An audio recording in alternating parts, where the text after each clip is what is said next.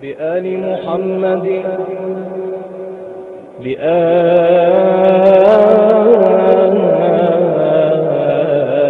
محمد.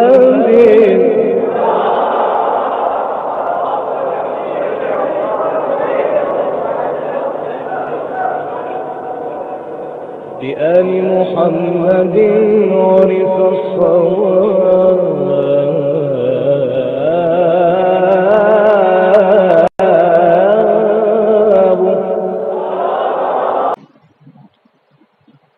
بسم الله الرحمن الرحيم وصلى الله على محمد وآله الطيبين الطاهرين أشهر أفكار الصوفية التي انتشرت في الوسط الشيعي أول تلك الأفكار هي فكرة الطرق إلى الله بعدد أنفاس الخلائق والفكرة الثانية هي فكرة الشيخ والمريد حتى قالوا من لا شيخ له فشيخه الشيطان والفكرة الثالثة هي فكرة الفناء والبقاء بالمعنى المعروف عندهم وليس بمعنى الموت والحياة.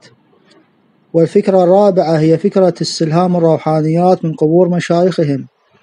ظنا منهم أنها تستمر في تكميل مريديهم وتفيض عليهم العلوم والمعارف. والفكرة الخامسة أو النظرية الخامسة هي فكرة الإنسان الكامل. حتى بعض صوفية الشيعة لديه كتاب باسم الإنسان الكامل. ومنهم من يكتب كتابا بنفس المضمون إلا أنه يختار له عنوانا مشابها له.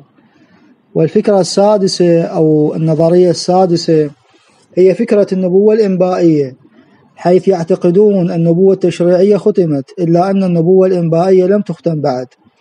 حتى تتيح للصوفية مجالا واسعا من التحدث والتشريع بما ينسجم مع أهواء النفس وما ينطلق من أوهام لا أساس لها من الشرع.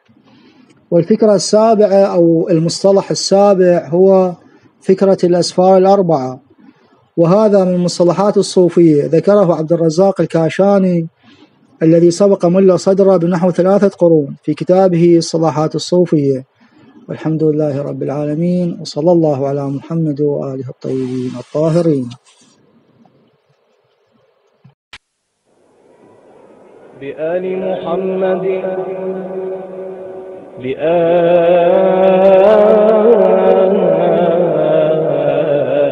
محمد